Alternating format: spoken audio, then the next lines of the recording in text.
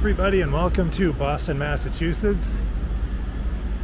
Here you can see they're doing, uh, it looks like they're building a building here at 350 Boylston Street.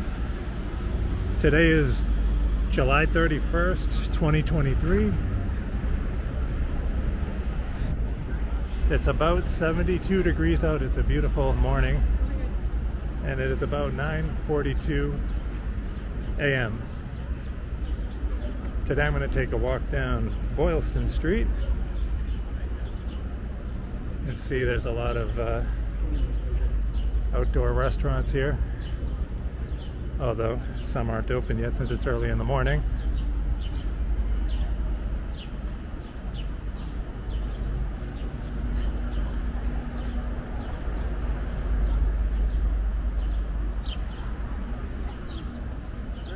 So uh, if you were wondering, Boylston Street was originally known as Frog Lane, actually. But it was later named after Ward Nicholas Boylston, a philanthropist, trying to say that word, a philanthropist and benefactor of Harvard University.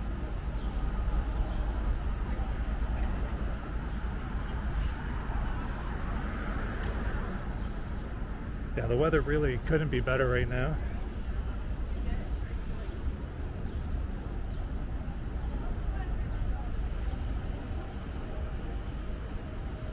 We're going to be crossing uh, Berkeley Street in a second.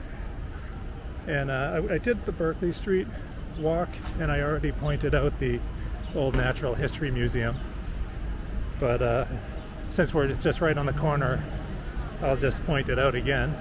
It's going to be this red building coming up on uh, Berkeley Street.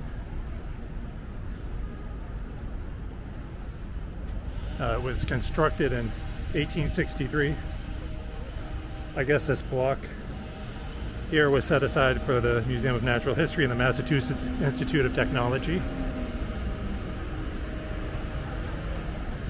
Okay, so the museum moved in here in 1864. In 1951, it evolved into the Museum of Science and relocated to the current location on the Charles River. That is where the Museum of Science currently is. You can take a look at the facade of the building here. It's currently occupied by RH Boston, which I believe is a high-end furniture store, basically, and gallery. All right, so let's head back down to Boylston Street. You can see the beautiful views of the uh, buildings from here. What I'm looking at right there uh, in front of the Hancock Tower, or the 200 Clarendon Street, is uh, 500 Boylston Street, which we will go and walk by. There's another uh, duck boat over there. The Arboretum. Pretty cool. Here's a side view of the Old Natural History Museum.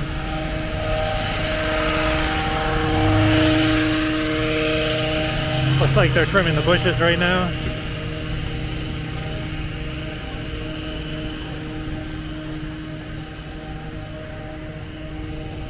Yeah, so we're coming up to 500 Boylston Street on my left.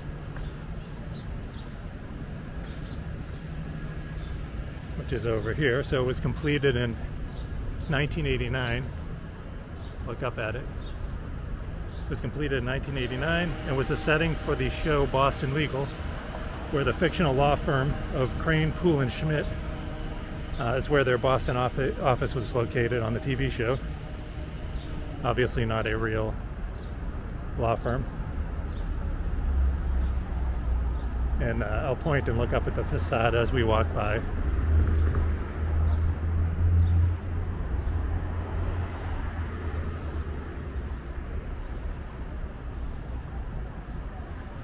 Very beautiful views of Boston on the street. Yeah, here's the front of 500 Boylston Street. Oh, they have a cow out front from the uh, Cow Parade art installation. There you go. Okay, so as we continue along, I'm going to cross over so we can take a look at the Trinity Church.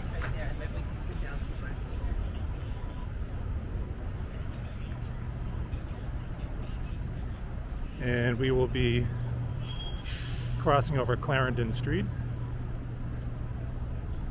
I did Clarendon Street uh, a few months ago, so that's also on my channel with uh, historical information. This is Clarendon here.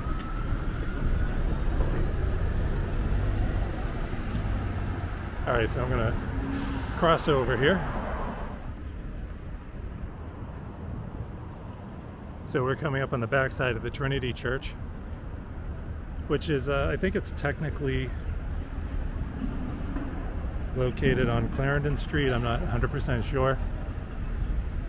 But um, here you can see the sign. I I pointed at it. Yeah, sorry, the Trinity Church. This is technically 206, and you can see the Hancock above, the 206 Clarendon Street.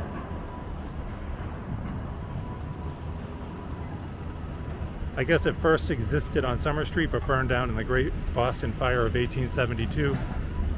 The construction of this church was completed in 1877. The building is an example of Richardson, sorry, Rich, Richardsonian Romanesque design named after its architect, Henry Hobson Richardson. So I just quickly looked this up. This is a statue of Phillips Brooks. Uh, he was an American Ep Episcopal clergyman and author. Uh, long the rector of Boston's Trinity Church and briefly Bishop of Massachusetts, he wrote the lyrics to the Christmas hymn, O Little Town of Bethlehem. He is honored on the Episcopal Church liturgical calendar on January 23rd.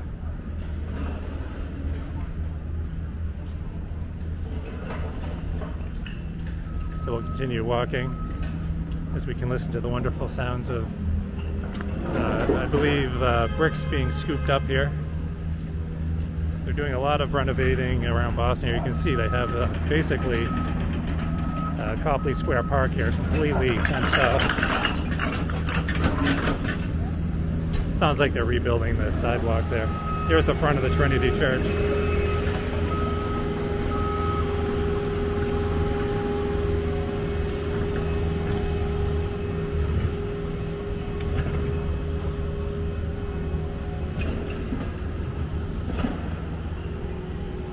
All right, so we're in Copley Square now, which unfortunately I can't walk through the park here because it's completely being renovated but it was named after painter John Singleton Copley. Before 1883 it was known as Art Square due to its many cultural institutions.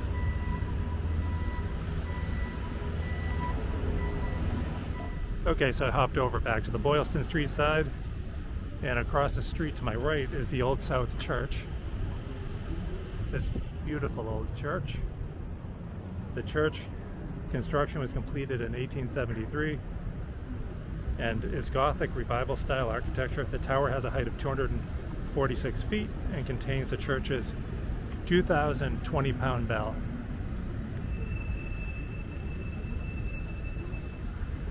And this way is the Boston Public Library. Was established in 1848 by an act of the General Court of Massachusetts. The Boston Public Library was the first large free municipal library in the United States It's one of the largest public libraries in the United States, along with the Federal, Federal Library of Congress, New York Public Library, and Harvard University Library. There's a great big world of possibilities after high school. Everyone creates their own path through the opportunities around them. UNIFA, your Massachusetts Educational Financing Authority, is here to help you plan, save, and pay for your way to higher education and career.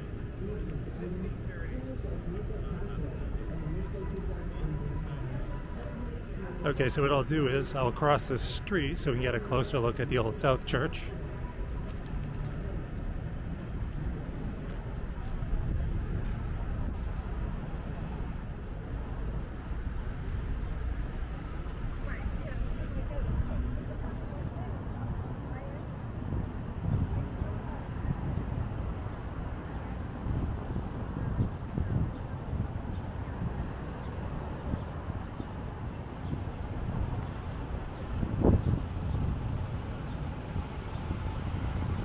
Go, you can see the entrance.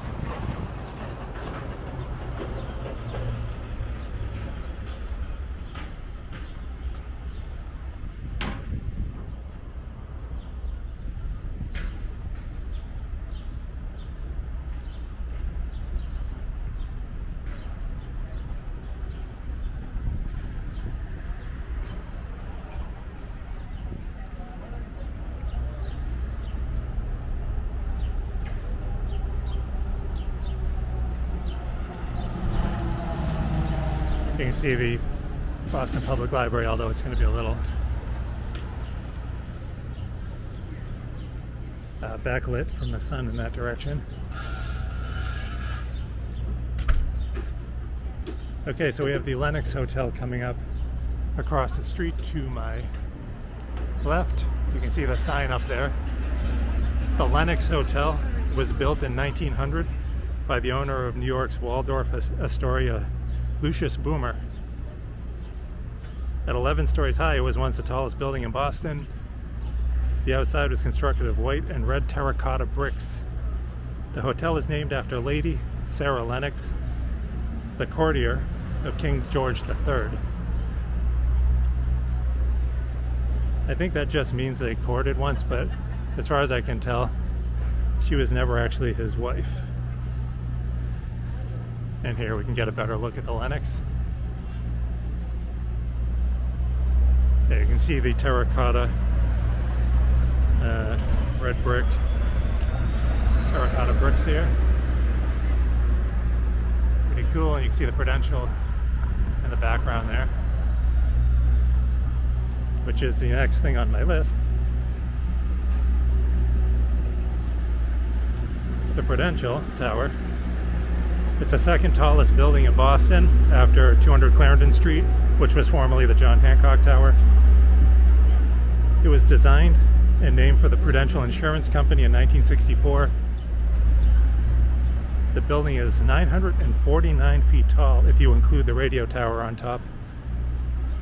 That would actually make it the tallest building in Boston if, you, if that were included. And here we can look at it up looming above with the radio tower.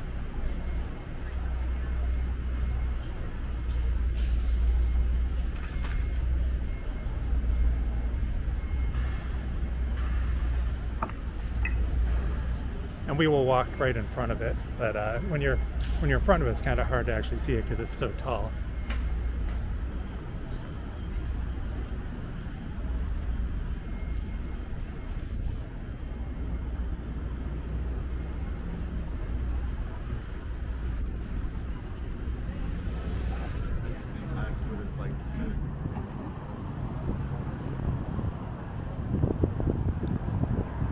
Here's Raising Cane's. I think they're very good, like for chicken sandwiches and Atlantic Fish Company. Yeah, if you're interested to see what this, um, what it looks like here at night, all you have to do is search my channel, and I do have other uh, videos of Boylston Street at different times of day.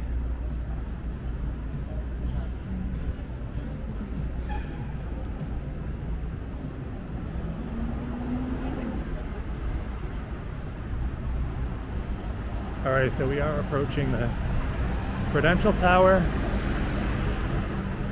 the base of it. See it up there.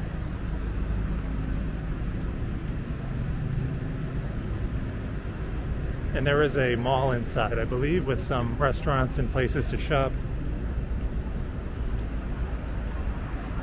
Uh, during, when the Boston teams are doing really well, usually when they reach the finals of their sport, they'll put like Go Sox or Go Pats or like Go C's on the front of Go Bees, you know. Um, I've come back so many times. It's really cool. It takes, from what I hear, it takes a really, it's really difficult to, yeah, here's the Prudential Center underneath. It takes a lot of man hours for them to actually set up the windows that way. Um, or at least it used to. I'm sure it still does. I imagine if they use, I wonder if they use smart bulbs, they could just program it to do a pattern on their front building, but I really that's just oversimplifying it.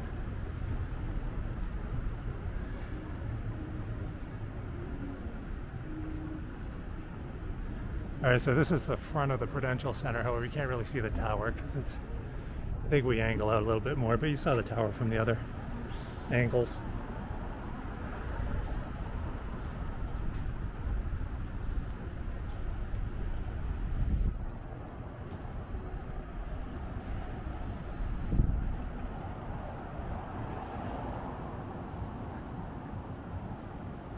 Oh yeah, here you can see it from this, this angle here.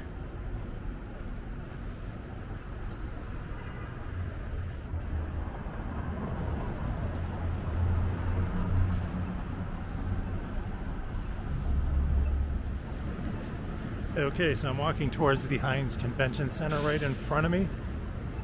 Um, it was built in 1988 from a design by architects Kallmann, McKinnell, and Wood. It replaced the John B. Memorial Auditorium, also a convention center built in 1963 during the Massachusetts Turnpike expansion from Route, one, Route 128 to the Central Artery. All right.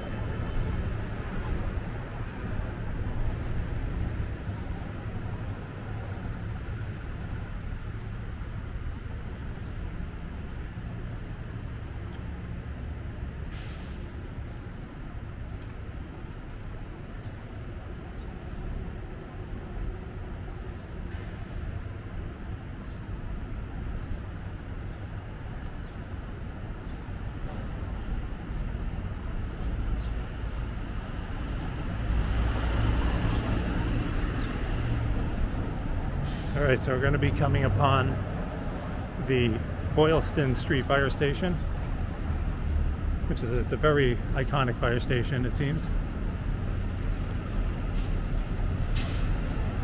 I'll cross over so we can see it. So it's across the street here.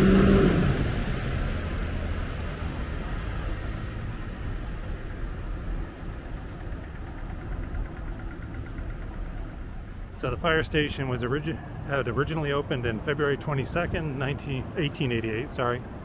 That's 1888. When Engine Company 33 and Ladder Company 15 were organized into this new firehouse. The building on the left of the firehouse um, used to be home to the Boston Police Station, 16 until 1976.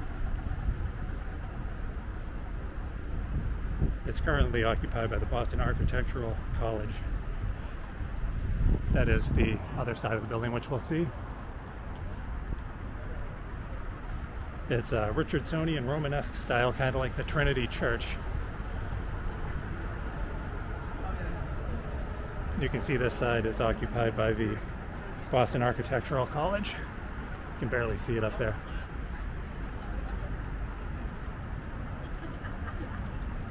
All right, so we're going to cross over the Mass Pike to the final stop.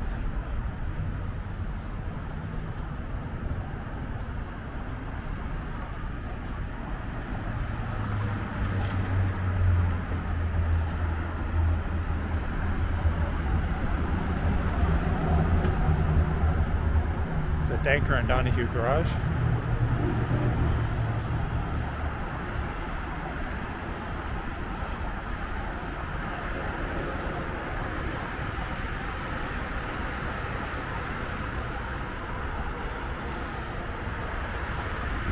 As we approach Mass Ave. You can tell we're going over the pike by all the cars going. Although, not at this moment. There we go.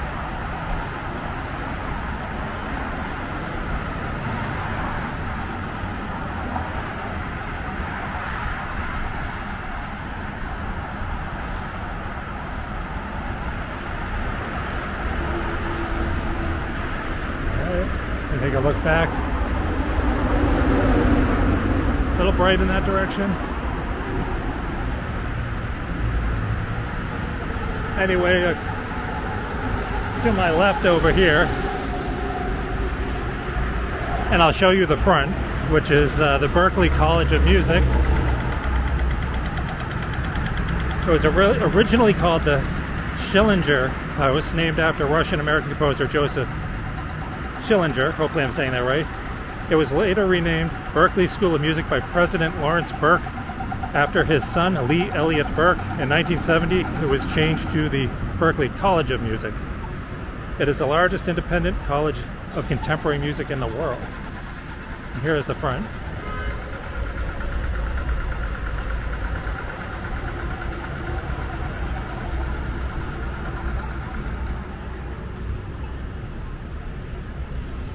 On Mass Ave here.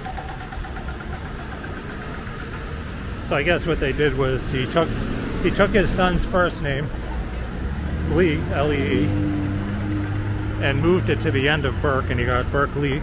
It's B-E-R-K-L-E-E. And that was a College of Music. And this is a performance center.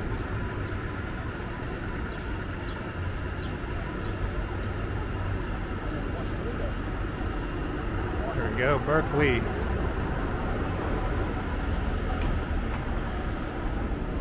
Berklee. Alright, I guess that's going to do it for this particular walk. As always, if you enjoyed this video, make sure to hit the like button. If you uh, like my channel in general and haven't done so, make sure to subscribe. And uh, also check out my photography at wayneoxfordphotography.com. Uh, if you'd like to help support my channel, you can buy a print, a mug, a shower curtain, a phone case, you name it. Uh, it's 10 years worth of uh, photographing New England and my travel photos. And anyway, that'll be it for this walk. So thank you so much for coming along and I'll see you next time. Bye.